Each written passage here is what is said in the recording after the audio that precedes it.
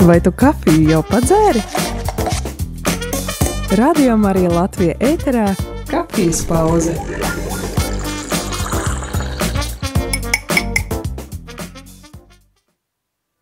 Radio Marija Latvija klausītāji tiešām ir pienākusi kafijas pauze. Šodien ir 1. marts, ir uh, nedaudz pār desmitiem no rīta, un studijā esmu es, Māra Bandaniece, bet, kā vienmēr, nesmu es viena pati. Šodien man līdzās ir Katrīna. Katrīna. Uh, šodien mēs ar Katrīnu parunāsim par uh, daudz ko, bet varbūt pirms mēs atklājam tieši par ko mēs runāsim. Katrīna, vai tu vēlētos iepazīstināt klausītājus ar sevi, ko tu dari ikdienā, ko tu studē?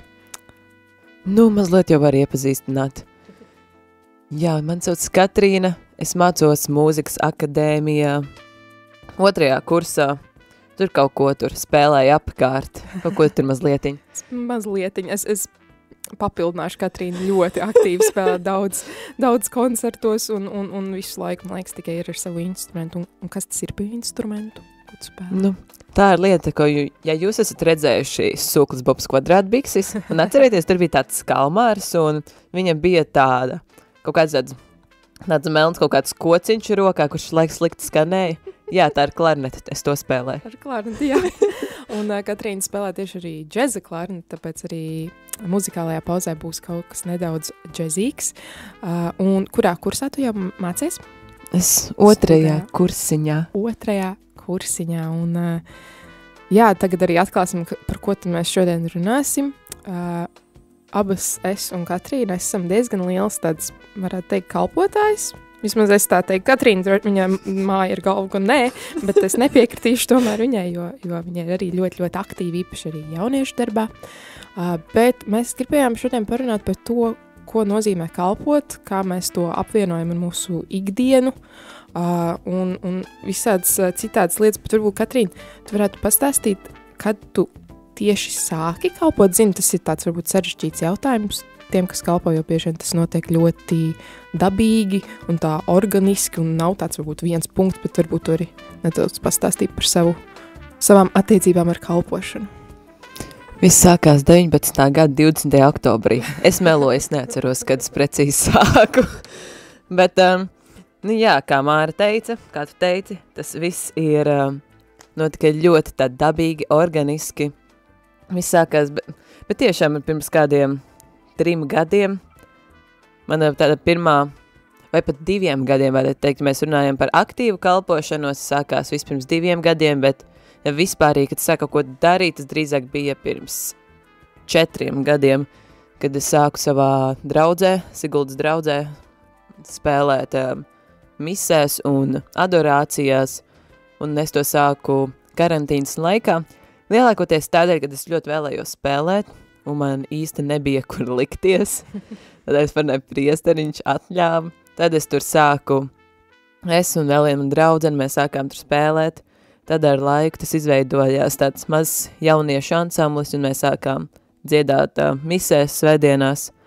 Un, jā, laika ejot, tas viss pārgāja no manas draudzes, no Siguldas uz Rīgu, kur arī es pārņēmu stafeti, dodoties uz oāzi, un kal, um, kalpojot tur kā brīvprātīgā, darbojoties ar jauniešiem.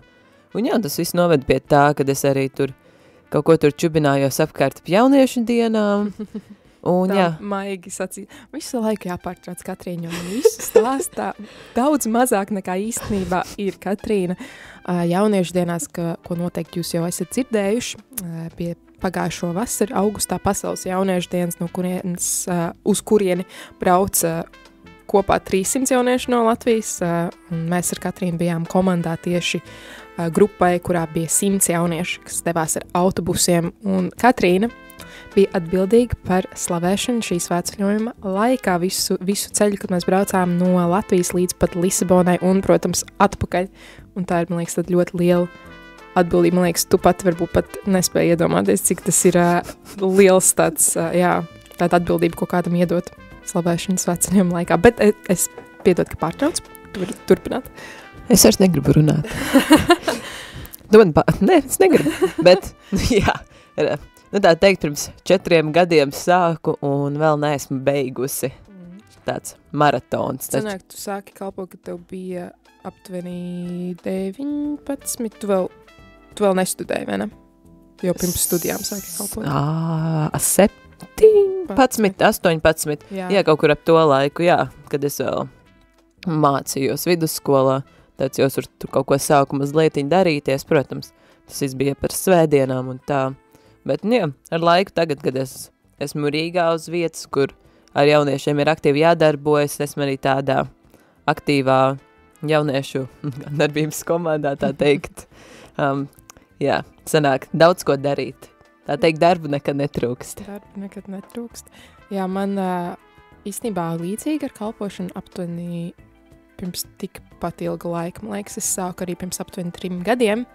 Uh, un tas sākās pavisam tā pamazītiņām. Uh, man liekas, pirmais man tāds kalpošanas pienākums bija, es uh, jauniešu alfā palīdzēju gatavot uh, uzkodas pirms alfas un uh, saliku krēslus, un es tā ļoti, ļoti pamazītiņām to visu darīju. Uh, varbūt man no sākuma pat gribējās vairāk, man bija tāds, bet es taču varu vairāk, es varu vairāk nekā tikai krēslus likt un tā tālāk, bet es īstenībā esmu ļoti pateicīga, ka man deva maziņus pienākumus no sākuma, ka es varēju augt kalpošanā, jo tuliņ arī par to bišķi vairāk parunāsim ar Katrīnu, bet uh, jā, kalpošana ir īstenībā kaut kas daudz vairāk nekā tikai tās darbības, ko mēs veicam. Un, uh, man liekas, jebkuram kalpotājam, uh, un kalpojumi ir ļoti, ļoti daudz un dažādi. Ir, uh, kā Katrīna minēja, ir slavētāji, kas, kas misēs spēlē, vai arī slavēšanās pielūgsmes vakaros. Ir, ir cilvēki, kas ir uh, tehnisko nodrošinājumu palīdz, vai, vai kā rādījumā arī Latvija ir tik daudz brīvprātīgie, kuri arī visi kalpo. Un ļoti, ļoti daudz dažādu kalpojumu. Bet, ja jūs kādreiz esat, kalpojis, tad um, jūs zināt, ka tas nemaz nav tik vienkārši, un uh, bieži vien ir uh, dažādi izaicinājumi, ar ko mēs saskaramies, īpaši, ja tā kalpošana ir tāda, kas piepilda tavu ikdienu. Um, jā, tāpēc es īstenībā esmu pateicīga, ka man kalpošana sākās ar tādām maziņām lietiņām, jo man liekas, nebūtu spējusi uh, pat pilnvērtīgi tā kalpot, jo mēs varbūt varam nedaudz parunāt par to, kas tev skaitās īsti kalpošana, jo bieži vien mēs varbūt domājam, tas ir apjoms, ko mēs izdarām, vai, uh, vai kaut kādi konkrēti darbi, bet varbūt tur bišķīt parunāt par to, kas tev ir tā kalpošana, kāpēc tā atšķirās no vienkārši kaut kādiem, kaut kādiem darbiem. Mm, tādi forši jautājumi. jā. Varbūt tāds, tāds plašāks bišķīt, bet, uh, bet, bet jā, varbūt tev ir kaut kas, kaut kāda atziņa. Nu, man kalpošana ir eh, diezgan saistīta kopā ar slavēšanu, un nevis slavēšanu kā mūziku, bet slavēšanu kā dzīves stilu. Ir tāda grāmata, dzīvot slavēšanā, es esmu izlasījusi no tām kādām simts lapām veselas divas, un, eh, Un jau ir daudz atziņu no tām divām lapām. Jā. viena atziņa, ko es atceros, bet tā viena atziņa bija, jā, ka slavēšanai ir, tā kā slavēšanai, kas tā, nu, ir jānotiek ikdienā, viņai jānotiek katru dienu, caur tavām kustībām, caur taviem vārdiem, caur visām šīm lietām, ko tu dari, jo tava ikdiena ir 90% no tavas dzīves. Un, nu, protams, ir tie jau 10%, kur mēs aizbraucam uz rekolekcijām un uz kaut kādām nometnēm, uz kaut kādiem pasākumiem, tad mēs domājam, vai, cik forši, cik labi. Bet tie jau ir tikai tie 10%, tas jau tas mazākais, ko tu vari iedot. Un šai slavēšanai jānotiek tavā ikdienas dzīvē, un ar to arī man sasaistās kalpošana. Kalpošana nozīmē slavēt Dievu caur citiem cilvēkiem, slavēt Dievu caur um, palīdzēšanu pārējiem. Ar tādu mīlestību, man liekas, bieži vien varbūt mēs tik ļoti uh, ieejam tādā ritmā, īpaši mums kalpošana uh, praktiskā veidā um, iet kopā ar mūsu ikdienas darbiem, uh, tad mēs bieži varam aizmirst to, ka īsmā katrs kalpošanas pamatā, protams, ir Dievs un, protams, ir mīlestība, un ja tu kalpo bez mīlestības, tad, nu, to pat nevar, man liekas, izcaukt par kalpošanu, tad tu dari kaut kādas darbības, uh, kas arī varbūt nav slikti, un, protams, nav jau vienmēr tā, ka kalpojot ir tāds ļoti liels piepildījums vai ļoti liels gandrījums uzreiz, bet uh, tomēr var arī tādā uh, fiziskā līmenī dažreiz izjust to atšķirību, kad tu kalpo ar mīlestību, kad tu kalpo bez, Uh, es zinu, ka mātei Terēzei, es kaut kad lasīju, bija tāda grāmatiņa, kur bija tāds viņu citātu, viņas citātu apkopojums, un tur bija ļoti foršs citāts, ka kalpot, ja tu kalpo, bez dieva, un ja tu to nedari dievam, tad nokalpot var, var būt aptuveni gadu, nu, kā ar saviem spēkiem. Nu, tu kaut, kā, kaut ko darīsi, un uh, varbūt būs pat augļi, bet, nu, tas, uh, tu varēsi to izturēt tikai gadu, jo pēc tam tu vienkārši izdegsi. Uh, bet, ja tu to dari par ko dievam un kopā ar dievu, tad, protams, tas, uh, tu varēsi kalpot tik ilgi, cik uh, dievs būs paredzējis tevi kaut kādā konkrētā kalpojumā. Man tas vienmēr uzrunā, ka ir jā, jāatcerās vienmēr. Un es jūtu, ka es tomēr kaut ko sāku pišķīt izdegt, vai man ir par daudz. Tad es atkal um, paskatos tā iekšēji uz sevi un tāds, ok, vai es esmu darījis šo dievam, vai es esmu to darījusi sev kaut kādām kā, ambīciju piepildīšanai. Zinu, ka mums ir Katrīna daudz sarunas tieši par šo bijušas, par, par izdegšanu un, un par uh, robežām un, un, un uh, par laiku plānošanu arī īpaši. Vispār, jā, kā tu, kā tu plāno laiku ar, ar, ar, ar kalpošanu? Kā tev ir kaut kādas robežas, kur, kuras tu nospraud tomēr, lai nebūtu tā, ka tu dari pilnīgi, pilnīgi visu, visu laiku? Vai kā tu to dari? Nu, man tāda sajūta, ka, um, zini to salīdzinājumu, kur tā kā ir tā kā viens čalīts būvē sev māju smiltīm, otrs būvē uz um, akmens, ja? Jā, jā. Jā, nu, man tāda sajūta, ka tie plūdi neapstājas. un es tā kā, un man liekas, es īsti no akmens neesmu uzbūvējis to pamatu, man tāds, man tāds izturīgs koks pašlaik ir. Bet, bet tu apzinies vismaz to, ka tev ir jāmaina pamats, ja? Tādā lēnā tem. Nu, zini, kā kamēr plūdi grūti, tā kā mainīt. Es tā kā norauju vienu koku un ielieku akmeni vietā. Es tādā jā. lēnā tempā, bet, nu jā, ka praktiski man ir studijas, Man ir vēl arī darbs divreiz nedēļā, es strādāju kā skolotāja. Tas arī tāds diezgan izsmeļošs darbs un vēl, jā, tad man vēl šī aktīvā kalpošana ar jauniešiem. Un viss jautrākais ir tas, ka es tik daudz tā kā kalpoju nodarbojoties ar cilvēkiem, ar jauniešiem, bet man nepatīk cilvēki. es varbūt atkal iztulkošu, ko Katrīna domā, lai nav pārpratumu ētrā. Um, Katrīna, mēs varbūt jau esat klausītāji pamanījuši, ka mēs ar Katrīnu esam diezgan tuvas draudzenes. Mēs arī ikdienā daudz tiekamies un diezgan kādu laiciņu jau pazīstam arī vienu otru. Un Katrīna ir ļoti introverts cilvēks, kas īstenībā, man liekas, ir interesanti. Man liekas, tā arī ir dieva svētība tev, ka tev ir tik daudz kalpošanas tieši ar cilvēkiem, jo uh, tu jau, man liekas, esi ļoti uh, labā ziņā izmainījusies, nu, ka tu esi atvērusies arī pret cilvēkiem. Un, man liekas, tas ļoti skaisti, ka Dievs vienmēr izmanto tieši tos cilvēkus, kurus tā kā liekas, nu, nu nē, nu, Katrīna taču ļoti introverta, un, un ar jauniešiem un ar cilvēkiem, bet redz, kā Dievs var visus izmantot. Viens vārds, ko teikt. Fui. nē, Katrīna ārprāts. Katrīnai tiešām ļoti labi sanāk arī Jā. kalpot. Ah, jā, par to balansu jau paspēju aizmirst. Par balansu. Atgriežamies, atgriežamies nedaudz, savācamies, atgriežamies tēmā par balansu, par laiku plānošanu. Nu, smagi ar to balansu es teikšu īpaši, ka es zinu, ka tas nav tikai man, tas ir ļoti daudziem cilvēkiem, jo, zini, um, Bībelē ir tāda grāmata, kur sauc Lūkas evaņģēlijs, mm -hmm. un tur ir tāds interesants uh, pants, tā kā desmitais, fuj, nē, desmitā nodaļa. jā, jā, tur sākumā tur ir tas teksts, kas man baigi patīk, ka pļāvēju, tā pļaujamā ir daudz, bet pļāvēju ir maz.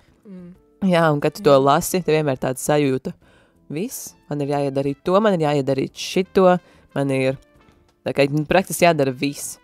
Jo patiesībā, jo vairāk tu iesaisties tajā kalpošanā, jo vairāk arī tu redz, ka tā patiesībā ir, ka patiesībā ir tik daudz vietas, kur vajag to kalpot, tā ir tik daudz vietas, kur vajag to aktīvo darbību, bet ir tik maz cilvēks, to aktīvi arī dara, kas tur iesaistās kaut vai uz nu, mazlietiņu. -hmm. Un, jā, kad tu to redzi, bieži vien, man liekas, pašā sākumā tu centies to kompensēt, centies darīt vairāk nekā tu patiesībā vari, tu centies visam teikt jā, lai visu aizpildītu, lai tu arī savā ziņā arī, lai tu justos vajadzīgs sev. Mm. Jā, protams, tas viss ir, uh, man liekas, tad visiem ir tas viens brīdis, kur viss ir tuvu izdegšanas robežai, un tad, un tad arī nāk tās um, dzi lielās dzīves atskārsmes. Bet, nu, par to balansu atkal runāju. par to balansu, šis ir ļoti, man liekas, tāds um, sāpīgs temats man un Katrīnai, jo mēs esam, diemžēl, tie cilvēki, kuri bieži vien šo balansu neizjūt, bet uh, man liekas, jā, jautājums bija, kā, kā mēs tiekam ar to galā. Man liekas, īstenībā šis ir tas veids, kā mēs tiekam ar to galā. Mēs esam ļoti atklātas, man liekas, uh, ar tiem cilvēkiem, kas mums ir apkārt. Un, uh, man liekas, mans padoms cilvēkiem, kuri varbūt kalpo un uh, varbūt jūs jūtat, ka ir grūti tās robežas tomēr turēt, jo jāatcerās, ka kalpot tev tas jādara tomēr jā, dievam, un brīdī, kad ir par daudz, tad var aizmirsties, kāpēc tu to dari. Tāpēc ir svarīgi nospraust tās robežas. Un kā to darīt, ir vienkārši būt atklātiem tam cilvēkiem, kas tev ir līdzās, vai arī, ja tev ir kāds tuvs draugs, uh, nezinu, ģimenes loceklis, radinieks, kaimiņš, kurš, uh, kurš ir kalpotājs, tad, uh, ja tu redzi, ka viņš pēdējā laikā ļoti nogurst, viegli aizskaitināms, kādas vēl ir pazīmes, visādas izdegšanas pazīmes ir. Klusē, nerunā. Klusē, nerunā, nekad nav mājās. varbūt jūs retāk satiekaties, neatceries pēdējo reizi, kad bija tāda gara saruna Ja kas, kopā. es visu laiku esmu mājās, tikai savā istabā. Bet, bet ja jūs pamanat kaut ko no šī, tad, tad varbūt vienkārši var tā pajautāt klau, kā tev iet, vai, vai tev nav par daudz, jo bieži vien pašam cilvēkam, es zinu, man tā ir bijis, man nepatīk pašai atzīt, ka es esmu uzņēmusies par daudz un ka es Mm. netieku galā ar visiem darbiem, ko es esmu uzņēmusies. Un uh, tad, kad ir kāds cilvēks no malas, kas vienkārši pajautā, klau, varbūt, varbūt ir laiks tā bišķi vienu solīt atpakaļ uh, paņemt un, jā, nedaudz veltīt laiku arī atpūtai un arī tomēr laikam kopā ar Dievu tieši personīgā. Jā, ziņā. jāatgādina, ka Jēzus mūs aicina būt pazemīgiem. Un mēs neesam pazemīgi, mēs nevaram atklāt to, ka Jā. mums vajag palīdzību. Bet viena lieta, ko es varbūt varētu ieteikt, ir skatīties uz kalpošanu. Um, vismaz um, laika menedžmenta ziņā skatīties uz kalpošanu kā tiešām uz vien- vienu lielu darbu, jo bieži vien, tā kā, nu, teiksim, mums ir mūsu, piemēram, manā gadījumā man ir darbs, kur man ir daudz dažādi, pie, dažādi pienākumi, man ir studijas, kur arī man ir pienākumi un atbildības, un kalpošana, tas ir vienkārši tāds, um, um, arī tāds trešais aspekts, uz ko es um, laika plānošanas ziņā skatos, kā uz vienu tādu lielu darbu, zem kura man ir vairākas atbildības, un bieži vien ir arī jāapzinās, ka kalpot ir svarīgi, bet tur ir kalpot arī Dievam caur saviem ikdienas darbiem, un teiksim, ja tev ir viens plakātiņš, ko tev ir jāuztaisa un jāizsūta kādam pēc diviem mēnešiem, un ja tev ir um, tie, um, kaut kāds referāts, ko tev ir jānodot pēc divām dienām, labāk pieķeries pie tā referāta. Vienkārši nu, saprot, ka kalpošana ir vēl viena lieta, kam ir, kur ir jāsaliek prioritātes, kas ir svarīgi tajā um, zonā, kas, ir, kas nav svarīgi. Mm, man ļoti, es ā, šorīt tieši uh, lasīju Bībeli un es lasīju, uh, tagad ceru, ka atcerēšos, jā, Jēkaba, Jēkaba vēstu, vēstuli man arī pierakstīts Jēkaba otrajā nodaļā. Uh, tieši bija rakstīts par uh, darbiem, ka ticība uh, bez darbiem ir mirusi.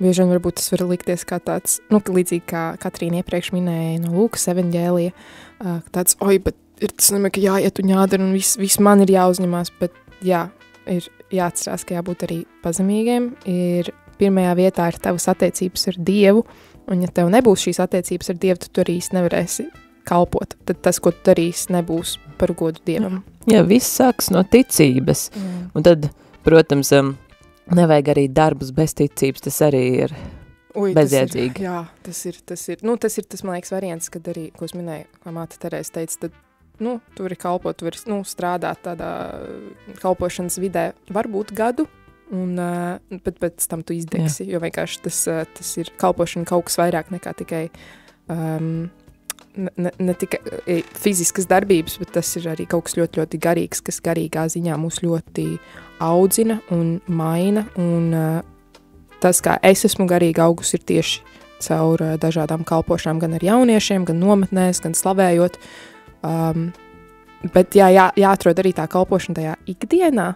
Man liekas, tas ir daudz plašāks jēdziens, Jā, nekā nu. mēs lietojam. Kā var pastīties uz mūzu, nodarbojās četri, ganīja 40 gadus aitas, pirms viņš sāk ganīt cilvēks 40 gadus caur tuksnesim. Jā, Tā kā viss šīs mazās lietas, ar ko mēs bieži vien sākam, man arī bija tā, kad es sāku ar kaut kādām mazajām kalpošanām, spēlēju vienreiz, div, mm, kaut kādu vienu reizi divās nedēļās baznīcā, un es arī domāju tāds, nu, nu bāc, ko tur daudz, es jau varu iet un kori vadīt, es jau varu tur, es nezinu, simfonisku orķestri tur diriģēt pa misēm. jā un, un dievam tāds, nu, pišķi pagaidi, es tevi gatavoju kaut kam, bišķi, bišķi nomierinies. Tieši tā, mums ir jābūt īpaši sākumā riktīgi pacietīgiem, mums ir, mums ir jākalpo ar to, kas mums ir, kā es arī vienreiz izlasīju, tā ka, ja tu esi, pat ja tu esi tikai, teiksim, saldējuma pārdevējs, esi vislabākais saldējuma pārdevējs visā pilsētā. Jā, un tieši par šo mēs nedaudz parunāsim, varbūt kā saprast, kas ir tava kalpošana, kā saprast, vai tu esi īstajā vietā,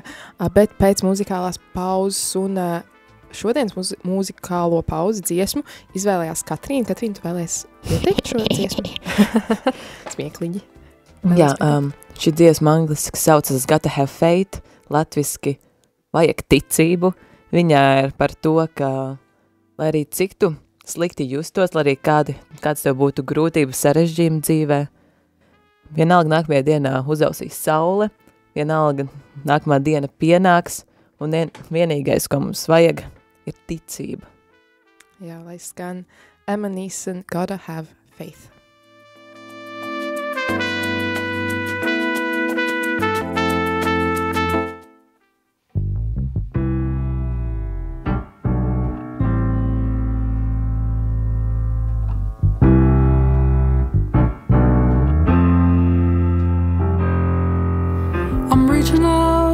The sun keeps on setting. The pain in me go, but bringing on the blue. As I look to the sky, I can feel the tears start swelling. And I cry, Help me, Lord, what am I to do? I gotta have faith, faith in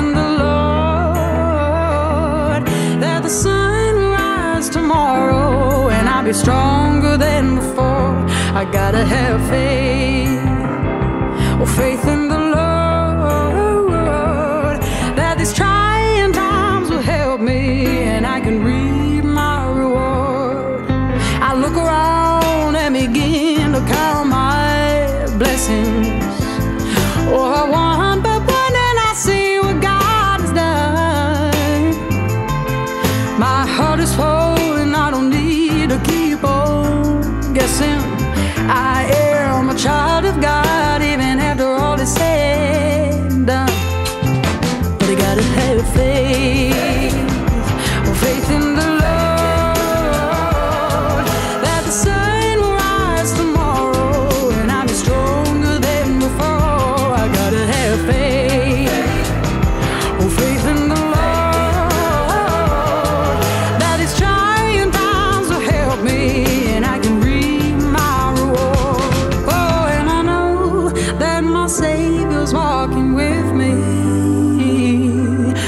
Side in my heart and in my mind.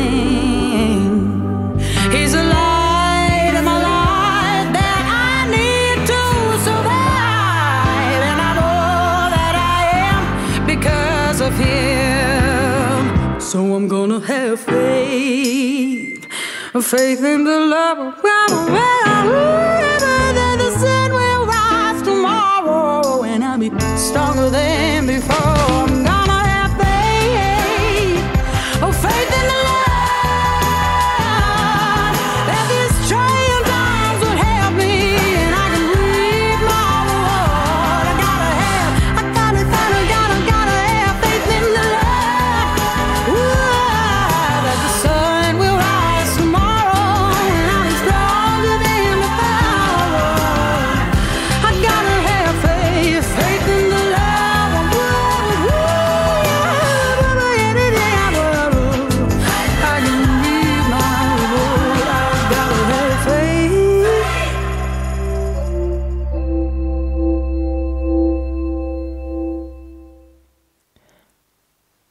Rādījām arī Latviju klausītāji. Esam atpakaļ ēterā un turpinās kafijas pauze. Studijā esmu es, Māra Bandniece un Katrīna. Katrīna. Un šodien, ja jau bijāt ar mums pirms mūzikālās pauzes, tad šodien mēs runājam par kalpošanu, par kalpošanu un ikdienu, kā mēs abas ar Katlī, Katrīnu plānojam savu laiku un, un kā mēs ieturam tādu veselīgu balansu. Un, jā, iepriekš jau nedaudz iesākām tēmu par uh, to, kā saprast, kas vispār ir kalpošana, un Uh, man liekas, ļoti uzrunāja tas, ko, kā Katrīna pirms uh, dziesmas teica, ka jā, pat mazākais darbiņš, kas mums cilvēcīgi liekas tāds mazākais darbiņš, varbūt īstenībā ļoti liels kalpojums Dievam. Varbūt tu gribi uh, atkārtot to salīdzinājumu, ko, ko tu teici, un paturpināt šo tēmu.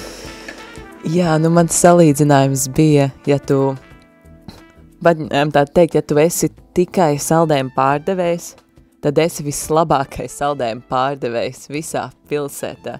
Tas ir tas, ko es ilasīju pirms dažiem gadiem, un es pēc tā vienmēr cenšos dzīvot.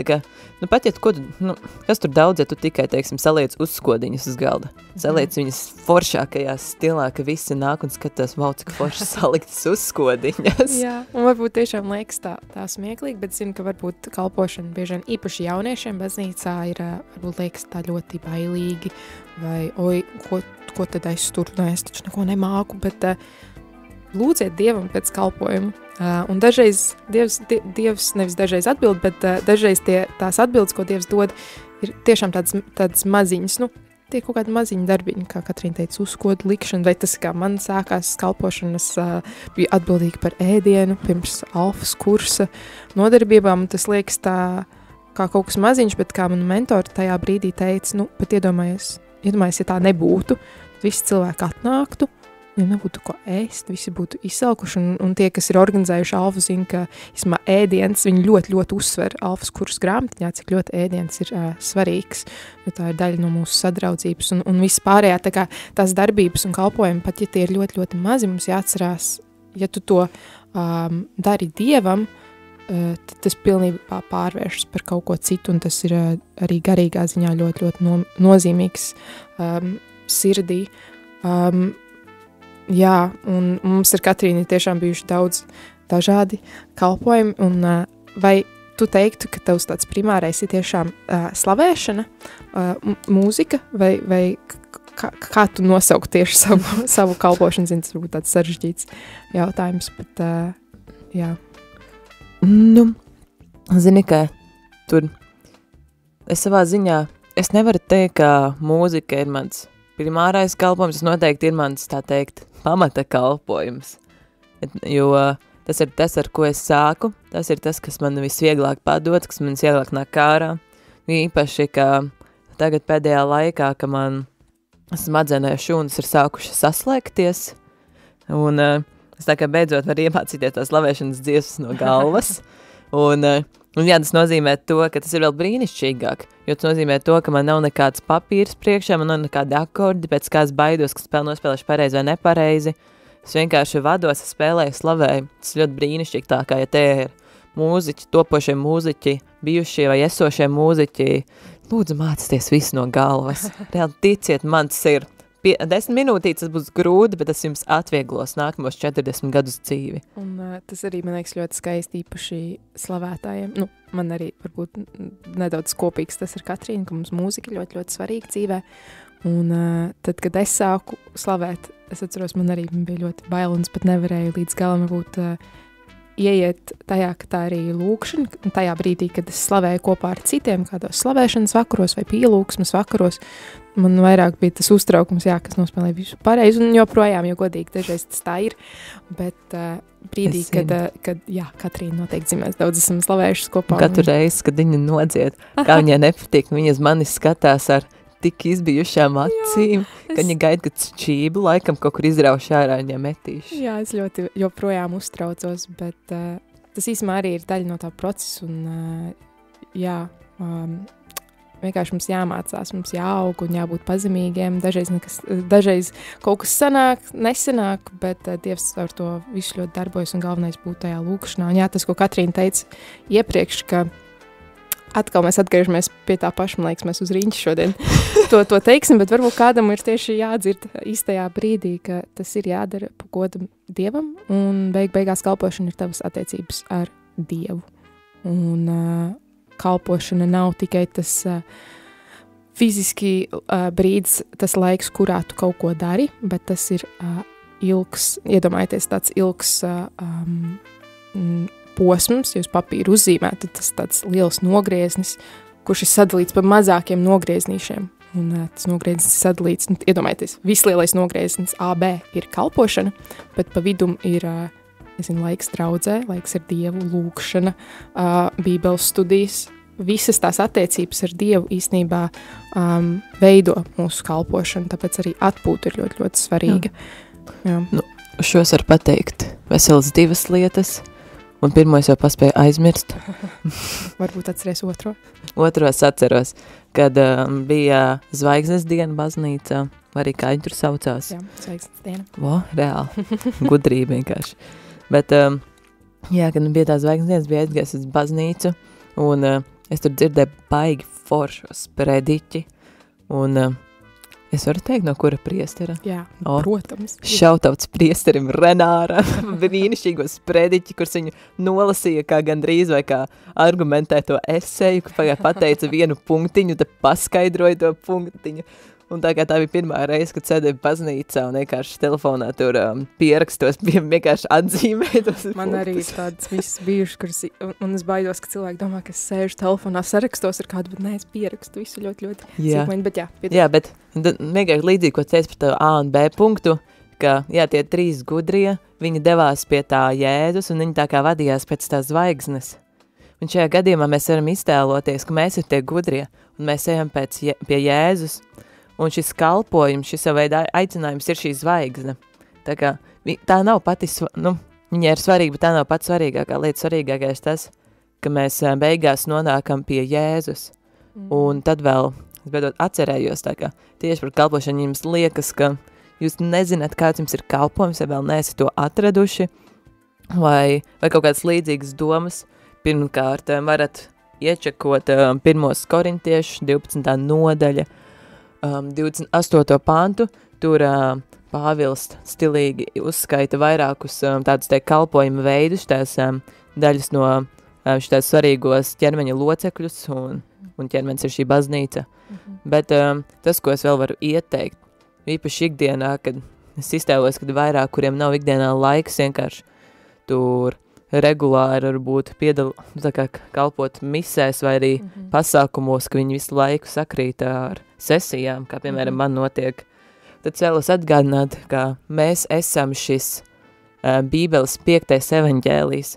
Mēs esam šis, mēs esam kristieši, mums ir atbildība parādīt citiem cilvēkiem, um, kāds, kāds ir, kas ir Jēzus Mm, un jā. kas viņš ir. Eh, Mums ir šī atbildība izdzīvot šo evaņģēliju. Un tas nenozīmē, ka jums ir tagad tur jāiet un um, tā teikt tur jāslavē uz ielām un jādara šīs lietas, jo es personīgi arī to nevaru izdarīt.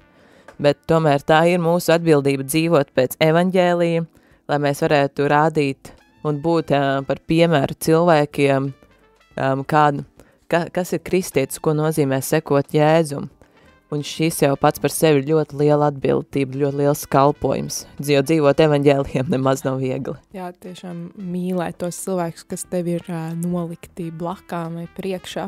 Es atceros, man bija brīdis, kad es ļoti apzināti katrs cilvēks, kurš man nonāca uh, kaut kā no nu, fiziski, ar kuru man sanāca runāties, nezinu, vai tas būtu pat veikalā ar kasierītēm, ar, ar pārdevējām, ar uh, apkopējām, ar cilvēkiem, ko satiktu baznīcā, ar garām gājējiem, nezinu, tramvajā dažreiz es kādu satikt vienkārši tiešām ar mīlestību skatīties uz to cilvēku. Un uh, dažreiz tas tiešām nav viegli, bet uh, tas pilnībā izmainīja manu skatu arī, kā es, ka- manas attiecības ar Jēzu, un uh, tas ir tik ārprātīgi svarīgi, un tas, ko Katrīna teica, jā, mēs esam tas piektais evaņģēlijs, mēs esam tas uh, piemērs, un no kā cita arī skatās, un tas jau ir ļoti daudz, man liekas, brīdī, tad, kad um, mēs sākam to darīt, tiešām mīlēt cilvēku, kas mums ir apkārt, kā Jēzus mums arī ir pavēlējis, tad arī no tā ļoti dabīgi izriet tas, ka tu vēlēsies kalpot, un parasti ļoti dabīgi arī uzrādās tā kalpošana, kurā tev ir jābūt, un iespējams, varbūt tu jau esi tajā vietā, kur uh, Dievs tev ir paredzējis, lai tu kalpo. Piemēram, ir ļoti daudz ārsti, kas uh, uh, strādā slimnīcās, ir uh, ļoti daudz dažādas profesijas, kas tiešām palīdz cilvēkiem, un varbūt es uh, uzlikt jums tādu izaicinājumu, uzjautāt jums pašiem, vai jūs savā darba vietās, vai tajā vietā, kur tu jau esi, kā tu vari jau kalpot, uh, vai tu, nezinu, dari jaukas lietas saviem kolēģiem, piemēram, tas būtu tāds ļoti mazi, maziņ, maziņš piemērs, bet vai tu mīli tos cilvēkus, kas tev jau ir apkārt, tas būtu tāds pirmais solis, Un, jā, varbūt tiem kalpotājiem, kuri mēs iepriekš runājām par to, par to laika balansu, jo tiešām daudziem cilvēkiem ir darbs, ir ģimenes, un tomēr varbūt jūs vēlaties tieši baznīcā kalpot, un varbūt jūs jau to darāt, kā, kā ar to izdegšanu tik galā. Man uh, atnāca atziņa, ka vienkārši apstājieties un pajautājiet sev, kad bija pēdējā reize, kad tu divatā pavadīji laiku kopā ar Dievu. Vai mm. tas būtu adorācijā, vai misē, vai pat mājās vienkārši, aizver acis un pavadu laiku lūkšanā, kad, kad bija pēdējā reize, kad to darīju. Bieži vien es atzīšos, man, man kā kalpotāja, es, es apstājos un tāds, oi, bāc, ziniet, pagājis, kā, pagājis laiciņš, un tad saprotu, ka ir jāizmeklē sirds un jā, jāstāsta, ka, kas tur īsti notiek.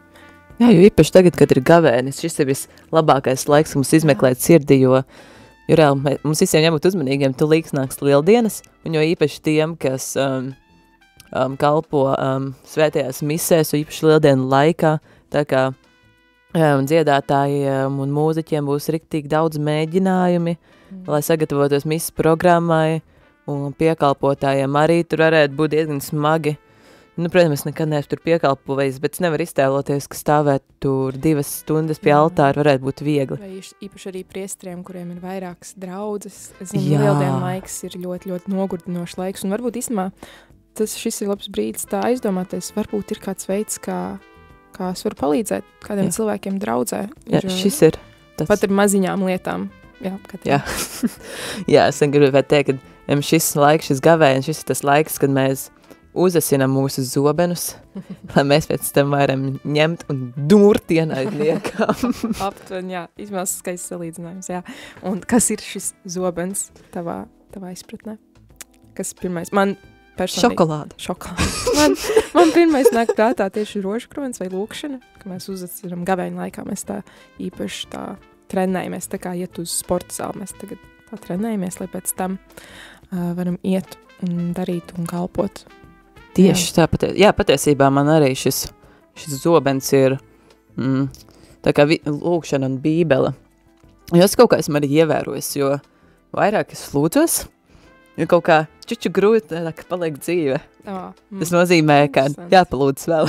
Jā, Dievs kaut ko tiešām maina, tas nozīmē, kaut kas uh, mainās, kaut kas iekšā sagrozās, kaut kas saplīst, kaut kas atkal um, sajiet kopā. Cerams, ka ne mana zaruna. Bet jā, Katrīnai vienmēr ir fantastiskākie salīdzinājumi. Tāds prieks, ka viņa man draudzina. Bet uh, tuvojas jau kafijas pauzes beigas, uh, bet varbūt uh, ir kāda pēdējā atziņa, ko tu vēlētos sacīt? mūsu klausītājiem šodien, vai kāds novēlējums šodienai? Nu, um, pēdējā atziņa varētu būt, ka jas, nu, sāc um, kalpot caur sevi, caur Jēzu Kristu sevi ārā parādot. Esi šis piektais evaņģēlijs rāda cilvēkiem piemēru, kādiem jābūt kristiešiem, un lūdzies Dievam, lūdzies pēc šī kalpojuma, lūdz, lai viņš tev dod iespējas kalpot, jo kā psalmā rakstīts, ko tu prasīs, tas tiks dots. O, ļoti forši. Mums tikko arī bija kāds zvanītājs, bet tiemžēl nepaspējām, nepaspējām uh, pacelt klausuli, bet tomēr, ja šis zvanītājs varētu pieznīt vēlreiz, tad mēs varētu arī saņemt šo zvanu ēterā. Pa to laikus arī, arī uh, padalīšos ar savu novēlējumu kalpotājiem. Pirmkārt, uh, jā, atrast laiku sev un dievam, aiziet uz adorāciju, aiziet uh, kaut kur, kur ir kluss un tiešām izmeklēt savu sirdi, paskatieties, kas tur iekšā notiek.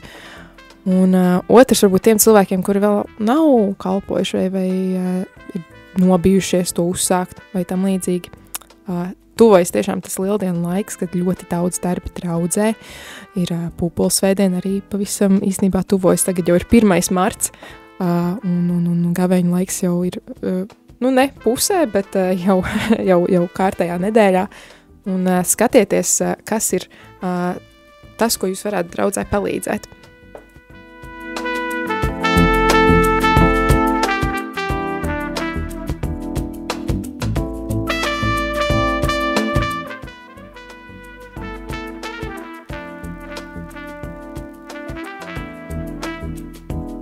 mums arī ir kāds eh, zvanītājs ēterā. Halo? Mūžīgi, mūžos slavēts. slavēts. Jā, droši.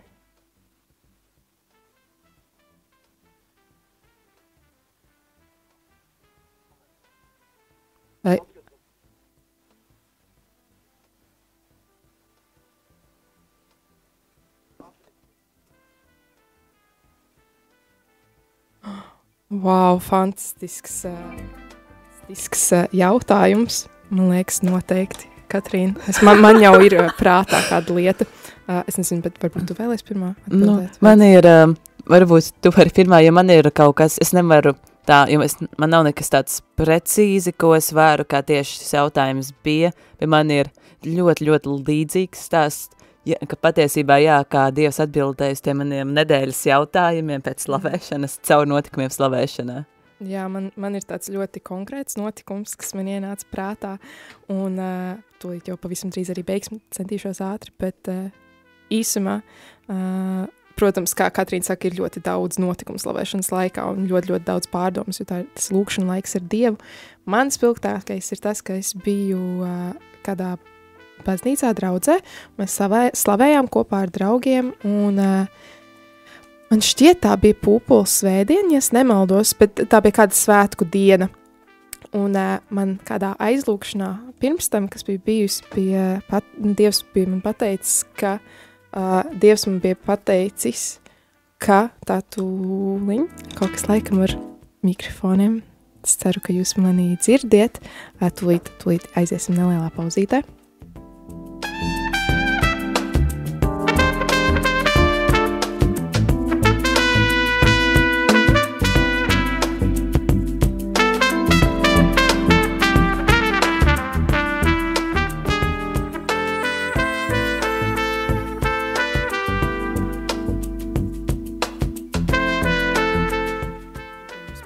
Jā, ka jautājums neskanēja ēterā. Varbūt, varbūt es, es eh, jau atpazinu, ka um, zvanītājs visbiežāk klausās rādījumā arī, ka braucot ar mašīnu, varbūt tādēļ kaut kas sajūta. Bet uh, jautājums bija par to, vai mēs esam kādreiz kaut ko piedzīvojuši slavēšanas laikā, kādu atbildētu lūkšanu vai kādu piedzīvojumu. Un, uh, jā, man šis piedzīvojums bija tieši tāda atbildēta, atbildēta lūkšana, jo man vienā aizlūkšanā Dievs bija tieši izmantojis tādu piemēru ar uh, ziedlapiņām, ka es būšu kaut kur apkārt būs tāds skaisti ziedi, kas, uh, kas apkārt tā krīt no, no, no debesīm. Un, protams, tas tāds skaists piemērs man likās, nu, varbūt tā- tāds, tāds salīdzinājums īsti tajā uh, nebiju iedziļinājusies. Domāju, nu, labi, varbūt būs kādas svētības, notiks kaut kas skaists, bet uh, šīs slavēšanas laikā šajā draudzē tieši es piedzīvoju šo, jo no, no balkoniem uh, bija no draudzes cilvēki, kas meta tādas rožlapiņas. No, no, un tad viss draudz Mhm. bija tādās rožlapiņās, un tieši tajā brīdī es slavēju, un tas bija tāds ļoti skaists mirklis, kad es sapratu, ka Dievs tiešām vis, visādas lietas piepilda. Mums pavisam neliels uh, laiks pirms beidzas kafijas pauzes, bet uh, Katrīna, varbūt tu gribi vēl ar kaut ko padalīties? Jā, tas bija. Jā, atbildot arī uz jautājumu, kas man tāds īpaši notika slavēšanā, par ko man pirms tam bija jautājumi, un kā man tās atbildes atnāca.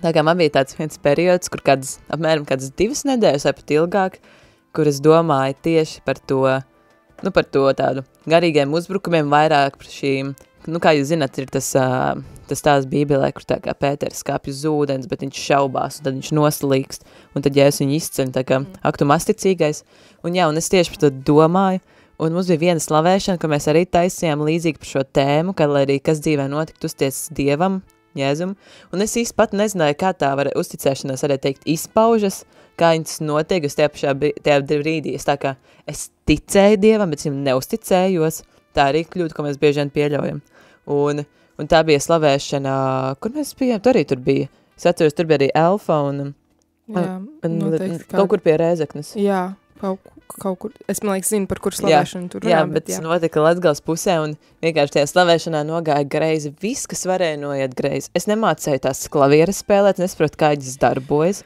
Um, Stīja divas vai trīs. Trīs stīgas ģitāristei, saplīs slavēšanas Jā, jā, galvenais laikā. viena pēc otras. Jā. un vienkārši, un tev vēl, man liek, galva riktīgi sāpē. Man bija ļoti liels pārdzīvojums tajā dienā. Jā, es domāju, ka visu slavēšanu raudāju no, no arī tādām fiziskām sāpēm. Tā kā bija Jā, tā ļoti, kā- tas bija liels piedzīvojums. Reāli, tajā brīdī. Jūs neticēsiet pēc slavēšanas, pilnīgi viss bija kārtībā. Tā kā bieži vien ir arī kaut kādi uzbrukumi kalpošanas laikā. Jā, kas, un uh, es teiktu, ka tas bija tas mans lielākais, kas tajā brīdī visu laiku domāju par to, par tiem uzbrukumiem, par to vētru, un tieši tajā slavēšanā, kas bija tieši tādu pašu tēmu, tā kā nu, sāk noiet greizi, viss, kas varēja noiet greizi. Bet reāli beigās mēs, mēs turpinājām, mēs turpinājām slavēt Dievu, mēs turpinājām visu darīt, mēs no neko nepārtraucām, un, tie, un tieši, man liekas, caur šo uzticību, ka, tie, un, ka mēs šajā vētrā, ka mēs turpinājām iet uz priekšu pie Jēzus, mēs neapstājāmies, nesākām šaubīties, ka tas bija tas, kas mūs noturēja. Jā, es ļoti iedvesmojošs uh, veiks šai kafijas pauzē. Katrīna, paldies, ka atnāc šodienas rādījā. Paldies, ka uzaicināji. Un, uh, jā, studijā biju es Māra un Katrīne, un uh, tiekamies jau pavisam drīz, lai jums visiem ir svētīga diena.